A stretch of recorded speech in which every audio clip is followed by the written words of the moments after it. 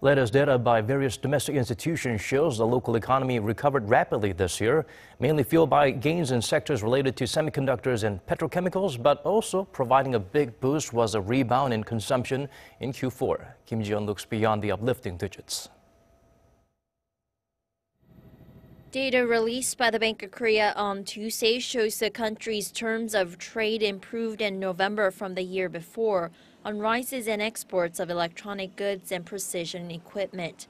The terms of trade index for products, which measures the amount of imports Korea can purchase for each unit of exports compared to other countries, has increased by 0.2% from the year before to reach 101.5 in November. Other data from the BOK shows domestic consumption in most of the country rebounded in Q4, mainly due to an increase in tourists during Chuseok, Korea's Thanksgiving holiday.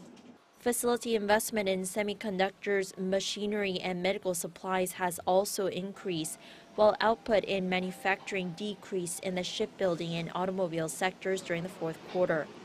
Data for 2016 released by Statistics Korea and the Korea Customs Service shows the amount of exports in that year dropped 6% compared to 2015 to reach 494.3 billion US dollars in 2016.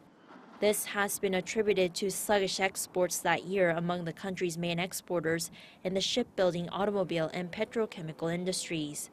The data also suggests the drop in international oil prices in 2016 had led to recessionary trade surplus as imports plunge. An official from the BOK forecasts Korean exports to continue to rise on semiconductor exports next year. Kim Ji-yeon, Arirang News.